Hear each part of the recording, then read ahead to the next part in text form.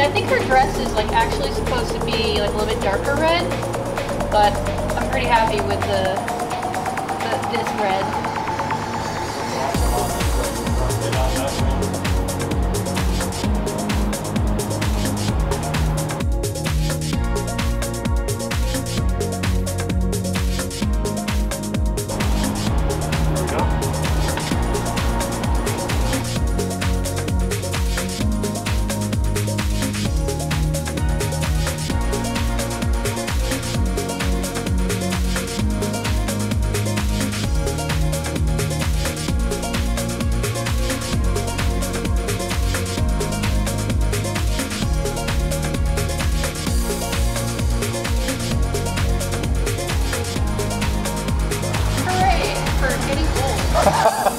Preaching to the choir.